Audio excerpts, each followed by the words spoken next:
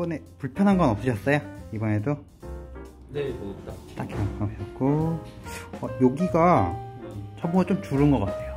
그, 그 뭐, 그러니까 딱지 같은 게 뭐 떨어져. 아 그래요? 아 그럼 다행이에요. 그때 그 유전 그게 상처 같은 게 원래 잘 그 정도는 잘 안 사라지는데 지난번보다 지금 이게 많이 줄었거든요. 네, 어, 지금 여기 발톱 이 끝이 안쪽은 또 부서져 나오긴 하는데 네, 오늘 한 번 더 재교정하고요. 네, 잘 만약에 옆, 옆에 옆 라인이 부서지지 않으면은 네. 다음번 때 아마 끝낼 수 있지 않을까 싶어요. 어, 상태가 좋아졌어요. 아, 다른 것보다 요게 좋아지면 좋은 거예요. 우선. 예. 네.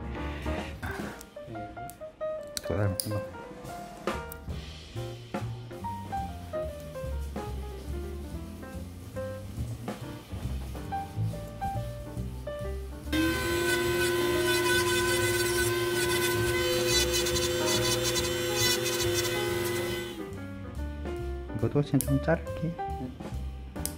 워낙 발 이거 앞- 여기 찔리세요? 아니요? 아, 그냥 워낙 발, 아, 여기 살이 여기까지 튀어나와 있어서 아, 음, 이 안에 살하고 부- 약간 휘어 있는 거 약간 각질하고 살하고 이게 다 엉겨 있는 것 같아요. 이렇게 나오죠. 아, 그러네요. 그런 것들이 좀 나와갖고 어,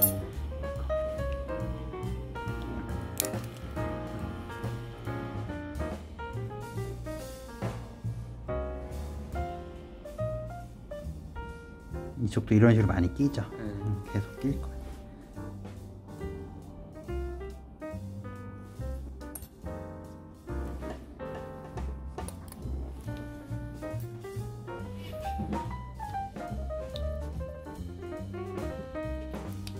다음번에 왔을 때 상태에 따라서 마무리 그 마무리도 지을 수 있다는 게 이게 잘만 나오면 가능한 거고 네. 무좀 있어서 안 좋으면은 안 되는 거고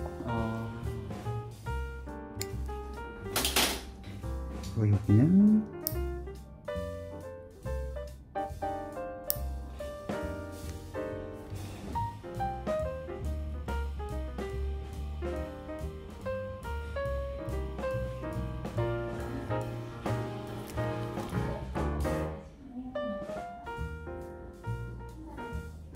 뭐지? 왜 이렇게 많이 나오지?